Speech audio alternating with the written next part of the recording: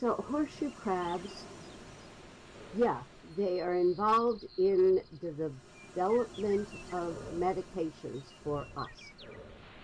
And uh, horseshoe crabs are very ancient creatures.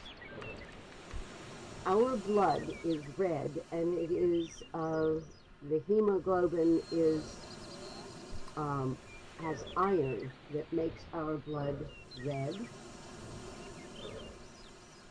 Uh, horseshoe crabs have light blue blood, and they have copper-based blood. What that does is in the development of our vaccines and medications, if you add, if you can,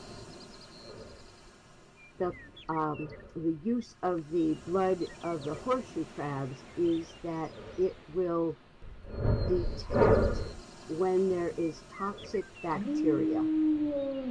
So in order to make our vaccines and our medications safe, they are tested on horseshoe blood.